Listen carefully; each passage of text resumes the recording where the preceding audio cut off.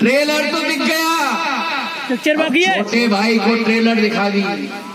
दिल्ली में बैठे हुए बड़े भाई को भी पिक्चर दिखा दे।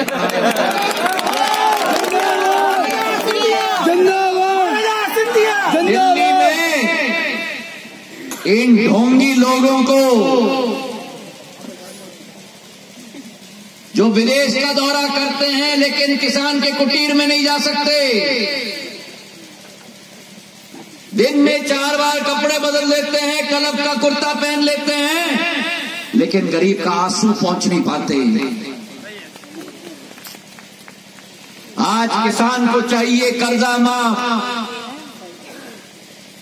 आज किसान को चाहिए बिजली बिल, हाफ़, आधा।